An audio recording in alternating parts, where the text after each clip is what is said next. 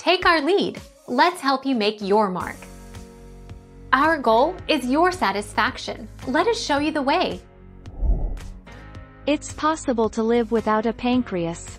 But when the entire pancreas is removed, people are left without the cells that make insulin and other hormones that help maintain safe blood sugar levels.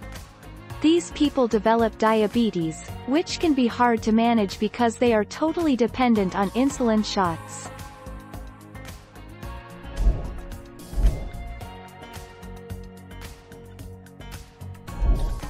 Take our lead.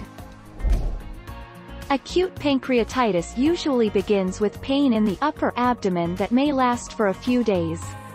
The pain may be severe and may become constant, just in the abdomen, or it may reach to the back and other areas. It may be sudden and intense, or begin as a mild pain that gets worse when food is eaten.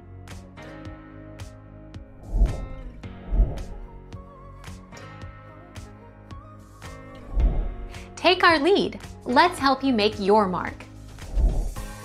Removing the pancreas can also reduce the body's ability to absorb nutrients from food.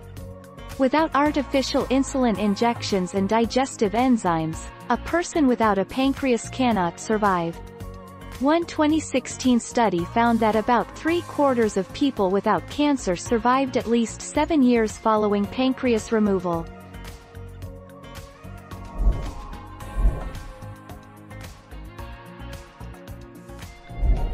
Take our lead. Let's help you make your mark. Living without a pancreas because your body will no longer produce a normal amount of insulin to control your blood sugar, you will have diabetes. You'll need to monitor your blood sugar and take insulin at regular intervals. Thank you for watching. Please subscribe and hit the bell notification.